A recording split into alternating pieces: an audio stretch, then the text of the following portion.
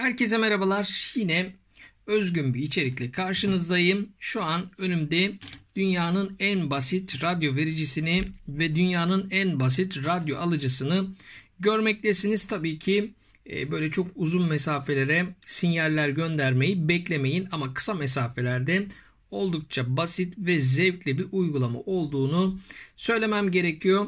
Verici kısmımızın kalbini bir çakmak manyetosu oluşturuyor.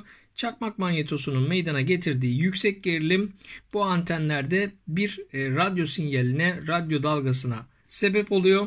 Oluşan radyo dalgası buradan gelerek karşıdaki antenler vasıtasıyla alınıp tekrardan elektrik enerjisine dönüştürülüyor ve burada gördüğünüz ledin yanmasını sağlıyor arkadaşlar.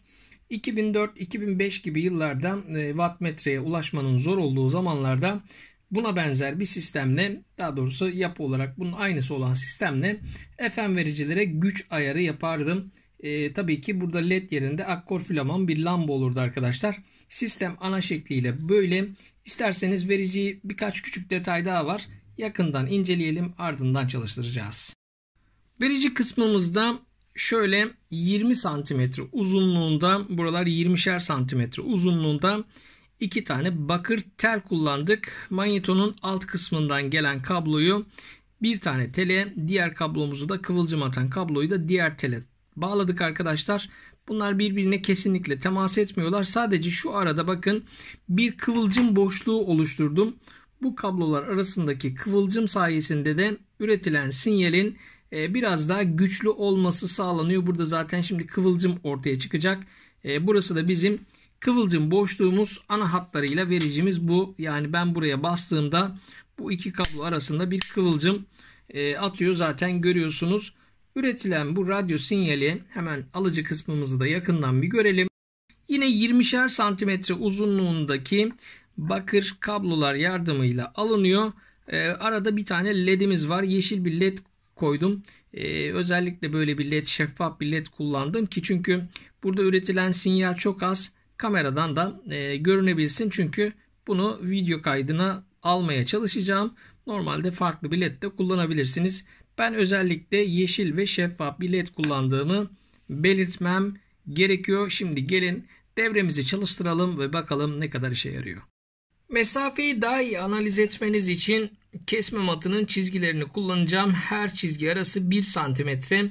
Gördüğünüz gibi zemindeki noktaya da şöyle ayarlayalım. LED'imizi denk getirdik. Yani sıfır noktasında LED'imiz var. E, şu anda 5 santimetrelik bir mesafe var arkadaşlar.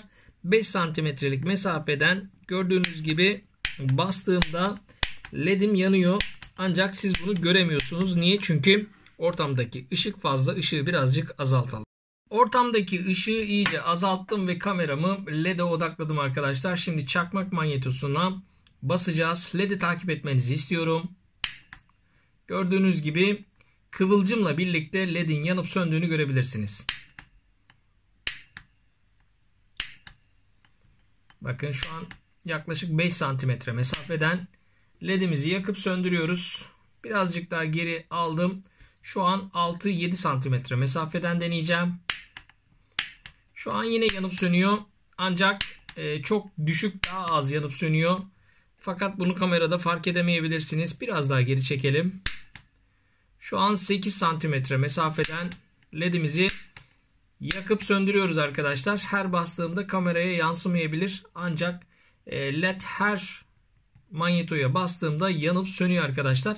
Biraz daha geri çekeceğim. Bakalım yaklaşık olarak 10 santimetreden bunu yakıp söndürebilecek miyiz? Bu arada elimiz kameraya çarptı. Şu an 10 santimetrelik mesafedeyiz. Bakalım başarılı olabilecek miyiz? Aynı işlemi tekrarlıyorum. Evet 10 santimetreden de ledimizi gayet güzel bir şekilde yakıp söndürdük.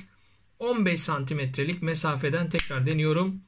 15 santimetreden ledimizi yakıp söndüremiyoruz arkadaşlar. Bu mesafeden ürettiğimiz sinyal yeterli olmuyor. Ancak 10 santimetreden gayet başarılı bir şekilde ledin yanıp söndüğünü görebilirsiniz. Bu şekilde sistemimiz çalışıyor. Bu gördüğünüz şey dünyanın en basit radyo vericisi diyebilirim. Bu videoyu izleyen ve ilgisini çeken birçok arkadaşın aklına eminim ki bunun menzilini nasıl artırabiliriz diye bir soru gelmiştir. 1950'li yıllarda yaşasaydık size direkt olarak vericinin gücünü artırın derdim. Ancak artık transistör çağındayız. Transistör çağında olduğumuz için de ikinci alternatifimiz olan alıcının alım hassasiyetini yani gücünü artırın e, demem yeterli olacaktır. Hemen devreyi hazırladım. Devreye yakından bir bakalım.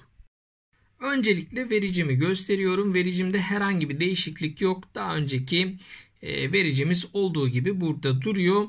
Alıcımızı kuvvetlendirdik. Alıcımıza bir tane transistör ekledik. Şöyle yakından sizlere gösterelim.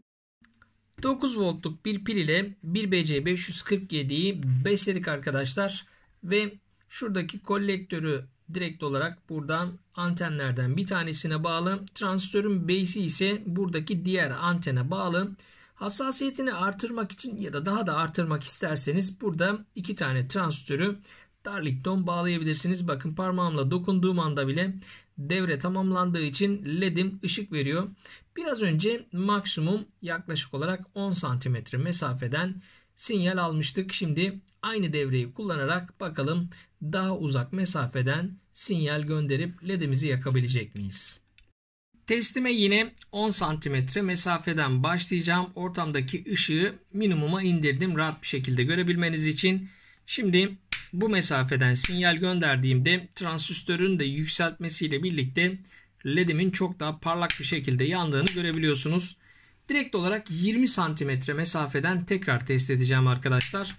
20 santimetreden de LED'im gayet parlak bir şekilde yanıyor. Şöyle göstereyim bakın.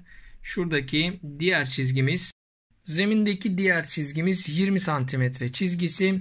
Hatta ben en geriye tam olarak 30 santimetrelik mesafeye aldım. 30 santimetreden tekrardan bakalım. Evet 30 santimetreden de gayet güzel bir şekilde sinyal gönderebiliyorum. Yaklaştırayım birazcık sizin için. Şu anda 30 santimetrelik bir mesafede elimle uzaklaştırdım. Yaklaşık olarak 50 santimetrelik bir mesafeden e, tekrar test ediyorum. Buradan göndermiyor arkadaşlar. Tek bir transistörle maksimum 30 santimetreden rahat bir şekilde sinyal gönderebiliyoruz. Yani transistör sayısını artırırsak menzilimiz de artacaktır. Bugün kullandığımız internetten alın cep telefonlarına kadar şu anda attığım bu videoyu izlemenizi sağlayan e, hemen hemen bütün altyapının temelinde aslında bu gördüğünüz şey var arkadaşlar. E, bu sayede radyo sinyalleri karşı tarafa iletilmiş ve alınmış oluyor. Yani basitçe bir radyo vericisi ve bir radyo alıcısını yapmış olduk. Böylece bir videomuzu, bir projemizi daha tamamladık. Bir sonraki videomuz ve projemizde görüşünceye değin şimdilik hoşçakalın. Bu tarz videoların devamı için beğenmeyi, paylaşmayı ve yorumlar kısmına sorularınızı yazmayı unutmayın.